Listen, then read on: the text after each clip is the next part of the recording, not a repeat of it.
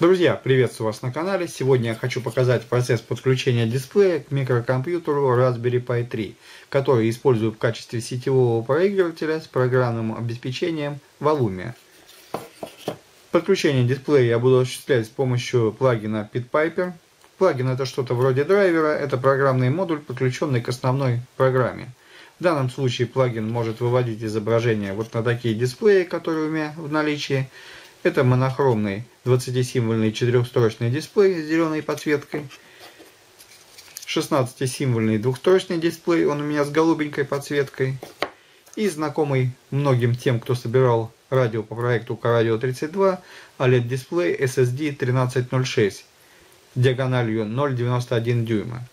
Также на AliExpress можно найти аналоги вот таких дисплеев, но уже в OLED исполнении – Сейчас на экране вы видите странички продавцов данных дисплеев.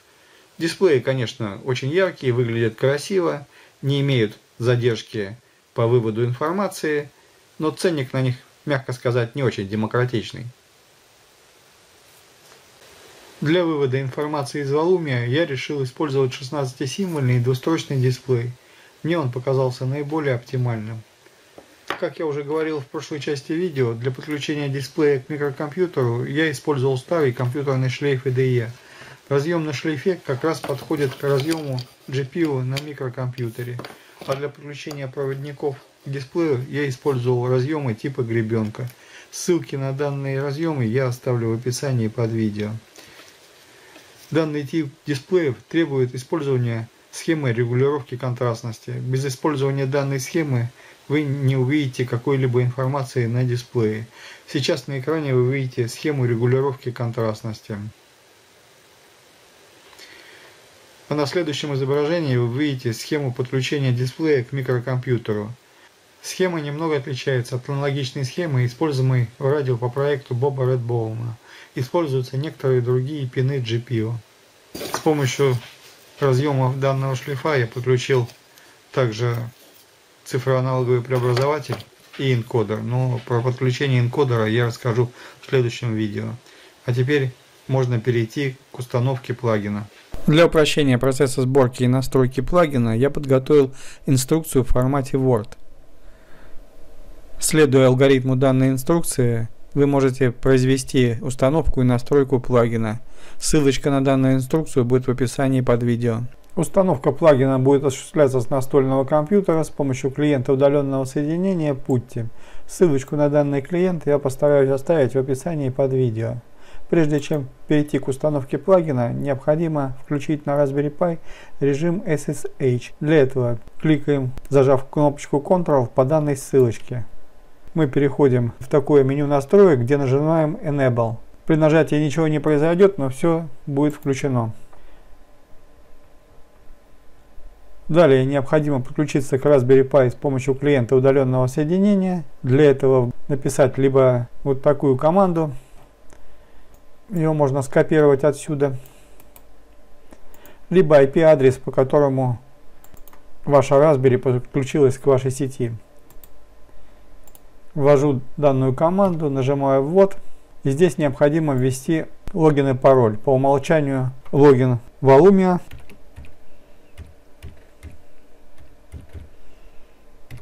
Пароль тоже Валумия.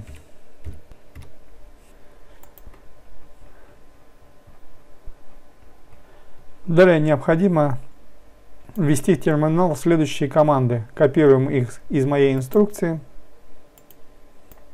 Вставляем в терминал. Здесь необходимо ввести опять пароль Volumia, чтобы установка началась.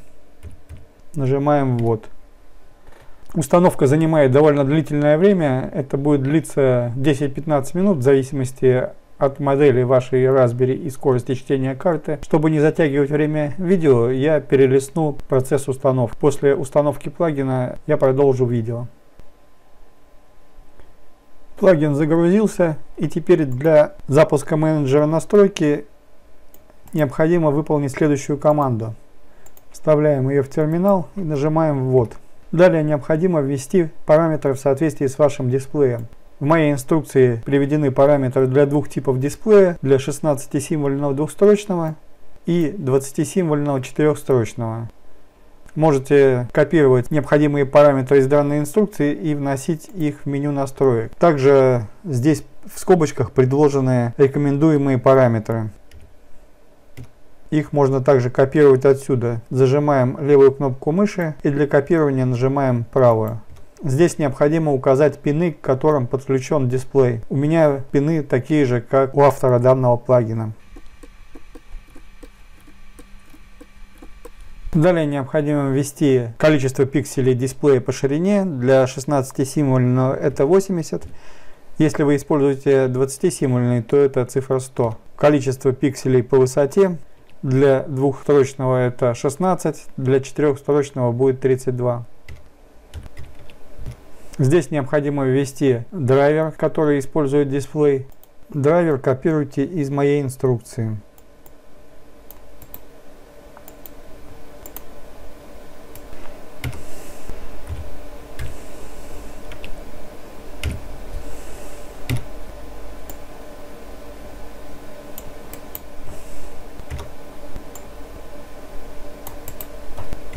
Вот здесь у меня возникла проблема. Далее необходимо ввести часовую зону. Для моего региона сейчас вы видите на экране, как должна писаться часовая зона, но при попытке любой другой часовой зоны драйвер не работает, информация не выводится. Драйвер работает только в случае, если я указываю часовую зону, указанную автором этого плагина.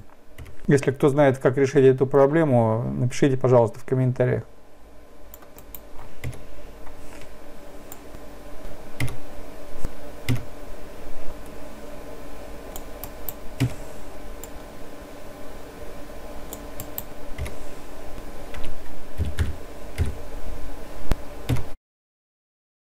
Для активации плагина необходимо выполнить следующие команды.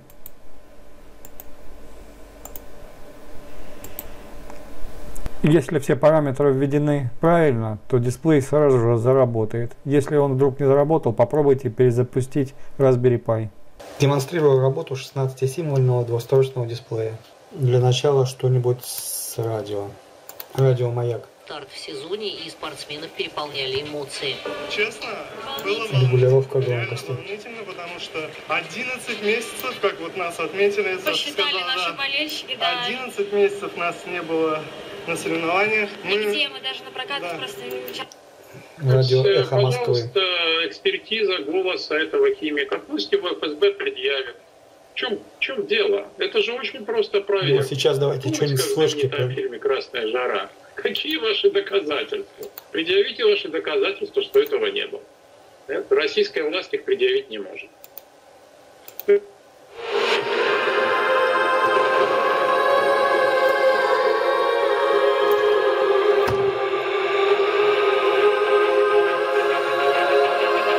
Заодно продемонстрирую работу энкодера. При нажатии на ось энкодера происходит стоп. При повторном нажатии воспроизведения.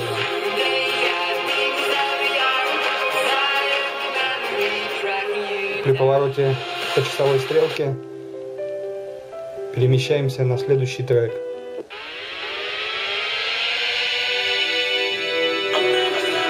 При повороте против часовой стрелки переходим на прежнюю композицию. Но по энкодеру я сниму отдельное видео, так что на этом заострять внимание не буду. Ну, давайте я быстро переподключу дисплей четырехстрочный и вернусь к записи. Произвел настройку плагина и подключил четырехстрочный дисплей. Так он выглядит в режиме паузы. Ну, давайте включу воспроизведение. Информация выводится немножко по-другому, нет таких вот заставок, как play, stop, как... Сейчас воспроизводится флешки. Следующая композиция.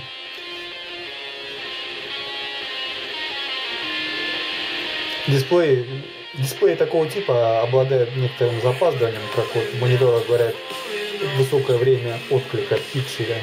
Здесь тоже, вот, когда какая-то бегущая строка, она немножечко всплывается.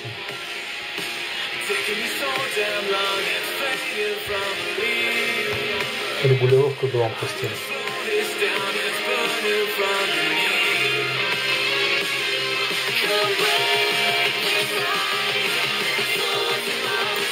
Давайте радио.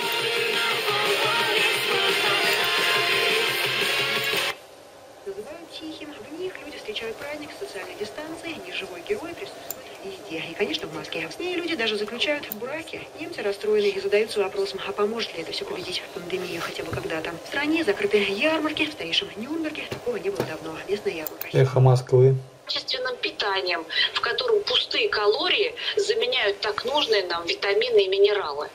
В общем, по поводу подключения дисплея к Вауме у меня на сегодня все. Какие остались проблемы? Не настроить часовую зону в часах плагина. Удается только заставить его работать с часовой зоной Соединенных Штатов. Так что придется с этим как-то мириться. Данные дисплеи не показывают кириллические символы, но этот вопрос вроде бы решаемый. Хотелось бы услышать ваше мнение по поводу, какой вам дисплей больше понравился. Я все-таки думаю, что, наверное, приобрету аналогичный дисплей с OLED-подсветкой.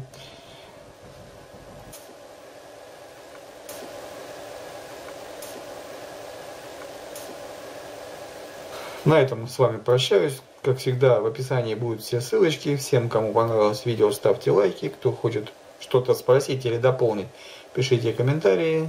Всем пока. С вами был Константин.